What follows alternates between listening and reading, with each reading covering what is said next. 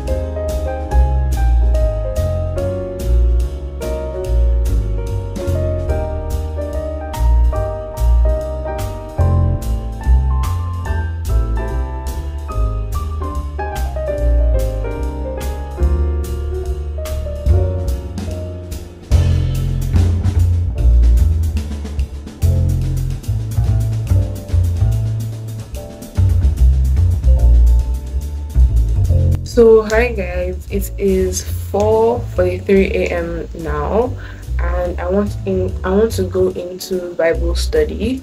So um, Bible study slash Bible journaling. So I really want to go into Bible journaling, and I really want I want to watch a video on that. So before I start into my Bible study. So yeah, that's the next thing on the agenda. Also, one of the things that I wanted to inculcate into my whole morning routine was to exercise, but I don't think I want to like inculcate that now because I don't want to put too many things right now that I know I will not be able to accomplish because if I I take a very long time to do my Bible study and then put in exercise and then all that stuff. But then maybe after, maybe during the holidays, I'll try to inculcate it and to see whether it's a match up when I like resume again for school. Yeah. Oh, hi guys. So I finished doing my research on Bible journaling and um yeah, I've gotten enough enough information at least so it's 4:55 a.m. so basically um what I'm going to use for Bible study I'm going to use my tab. So I have this plan on the Bible digital Bible called YouVersion so basically I have two plans on seven days of prayer and salvation two different plans. So um, I'm just going to use the SOAP method of Bible study. And I also have this Bible template, Bible study template that I got from Pinterest and let's see how it goes. Also, I'm using an NIV version of the Bible.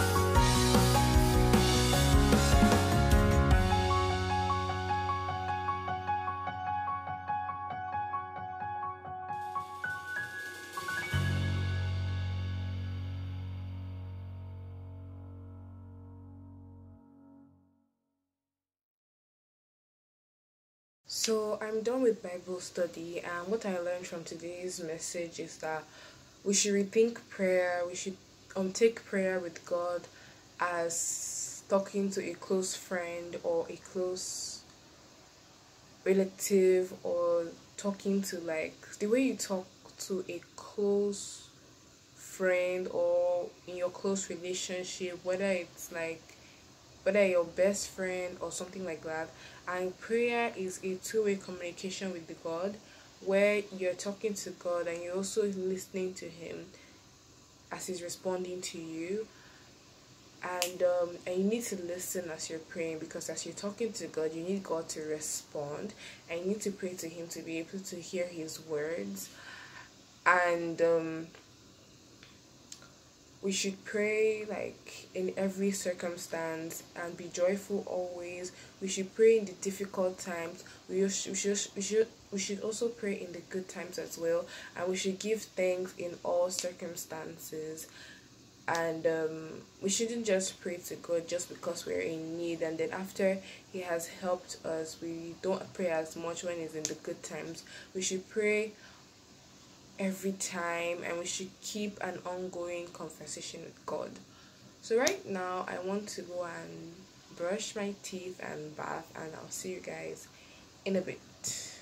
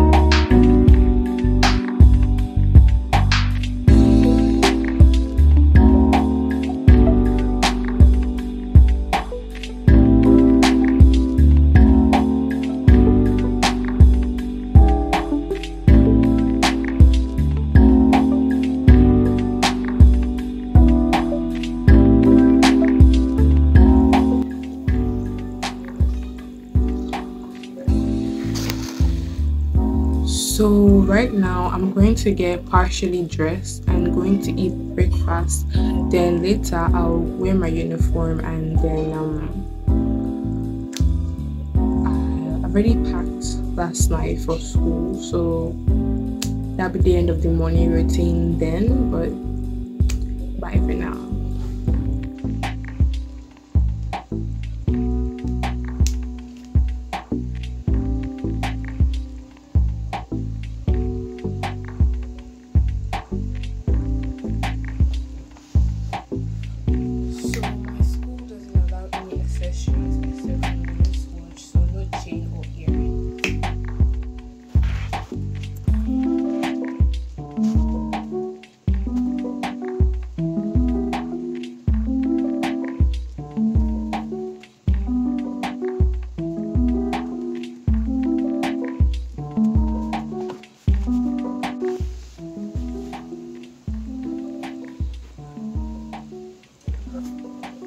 Also they don't allow scrunchie. So if you want to like put a hairband like it has to be either black or deep blue. So I'm going with